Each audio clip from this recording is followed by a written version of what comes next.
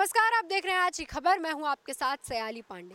सूबे की सबसे हॉट सीट माने जाने वाली जेवर विधानसभा से बहुजन समाज पार्टी के उम्मीदवार नरेंद्र दाड़ा ने घर घर जाकर वोटों की मांग कर ताल ठोकी है। उन्होंने डोर टू डोर जनसंपर्क कर वोटों की मांग करने की शुरुआत कर दी है। इस सीट पर अपनी जीत सुनिश्चित करते हुए उन्होंने डोर टू डोर कैंपेनिंग शुरू कर दी है। आपको बता दें कि जेवर विधानसभा बहुजन समाज पार्टी की पारंपरिक सीट रही है।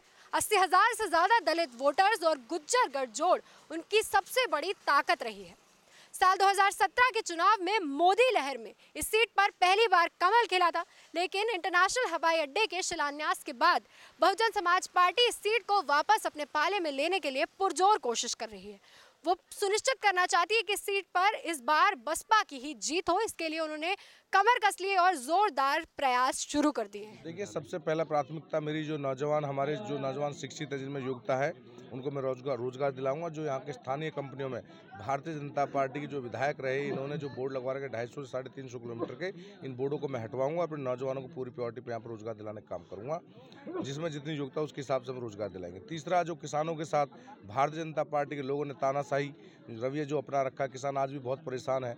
और जो जेवर एयरपोर्ट पर जो ज़मीन अधिग्रहण हुई, उस पर जो किसानों को मुआवजा मिला, उसके साथ भारतीय जनता पार्टी के जनप्रतिनिधियों ने धोखा दिया, उन्हें गुमराह करके उनको जो सस्ते रेटों में उनसे ज़मीन लिए उन्हें उचित रेट मुआवजा मिलना चाहिए था, उन्हें हम उन्हें उचित मुआवजा दिलाएँगे। और जो हमारे स्थानीय किसान हैं, वो आज भी चौंसठ परसेंट, दस परसेंट छः परसेंट को लेकर लड़ाई लड़ रहे हैं। उनकी उन समस्याओं का समाधान हम प्राथमिकता पर कराएँगे। दूसरा, एक ब्लॉक हुआ करता था, धनकौर ब्लॉक, जिसको जिसको इन्होंने ख़त्म किया है।